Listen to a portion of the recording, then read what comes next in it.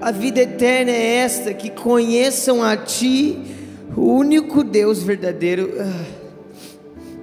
Eu me lembro, o Senhor nos tocou com simples versículo: que conheçam a Ti.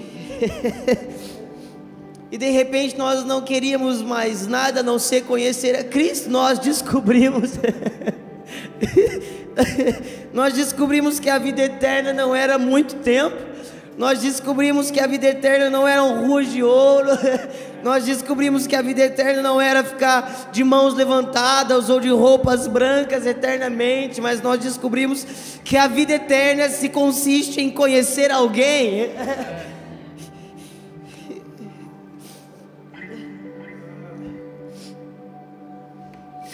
E de repente o nosso suposto chamado ele não importava mais a nossa suposta carreira evangélica ela não importava mais, a gente não queria mais música, a gente não queria mais nada, nós só queríamos conhecer.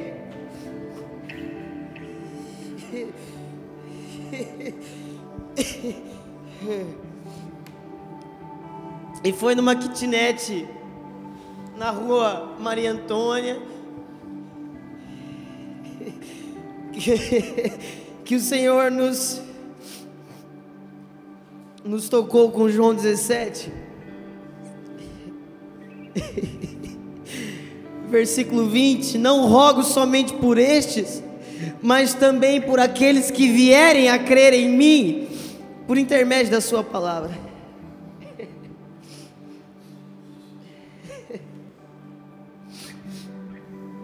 Sim, Jesus orou por mim, a gente descobriu o canto. Jesus orou por nós. E, e naquele dia Jesus não orou para que a igreja One fosse a melhor, é, ele não orou para que o Alê fosse o mais ungido, para que o canta tocasse as ruas. Naquele dia Jesus não orou para que eu tivesse um bom casamento, uma boa casa, não que isso tudo não seja incrível, mas naquele dia Jesus não gastou tempo com isso. Ele, ele terminou, eu, eu oro por aqueles que vão vir, para que todos sejam um. Não, não, mas não para que eles sejam um, como o mundo é um, não para que eles sejam um na própria força, mas Deus, Pai, para que eles sejam um, como eu sou contigo. Naquele dia, Jesus orou para que em mim habitasse a mesma plenitude de intimidade que habita entre Ele e o Pai.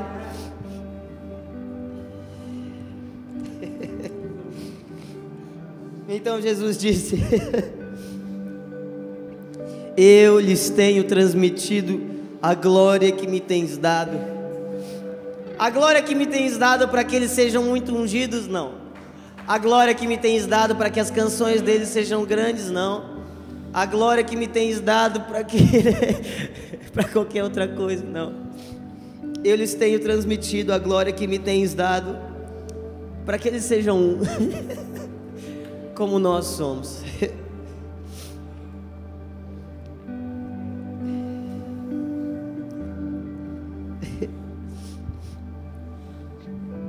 Tudo que nós queremos é conhecer Jesus. Essa é a nossa canção. Essa é a nossa proposta.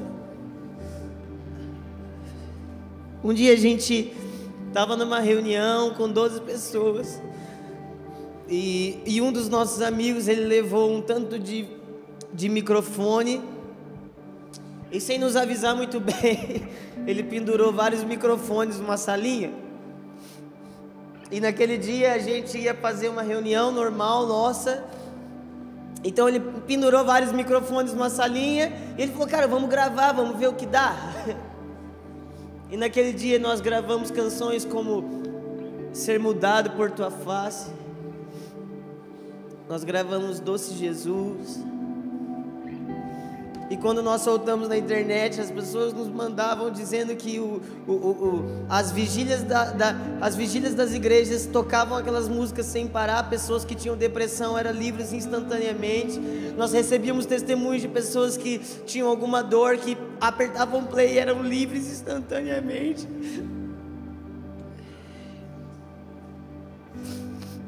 E nós fizemos isso algumas vezes. Nós tocamos o Brasil com algumas canções. Eu não trouxe nada para mesa, carpinteiro. Mas nunca foi sobre as canções. Nunca foi sobre uma letra. Nunca foi sobre uh, o violão afinado ou tocar no clique. Nós queremos fazer o nosso melhor, mas nós sabemos que ainda o nosso melhor são as lágrimas.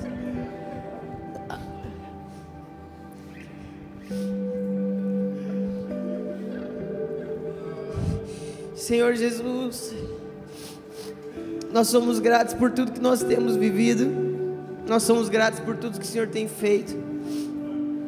Nós te damos total liberdade, Jesus, para nos tocar, para fazer tudo aquilo que o Senhor quer fazer.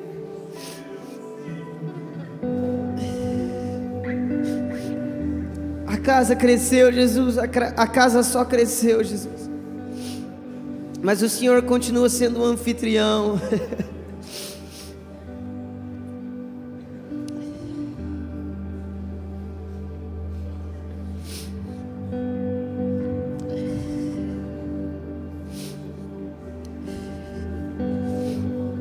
pode colocar sua mão no coração junto comigo? Vamos orar juntos. Diga comigo, Senhor Jesus, nós te amamos. Diga, Senhor Jesus, mude as nossas vidas. Nós nunca mais queremos ser os mesmos. Em teu nome. Amém. Amém. Amém.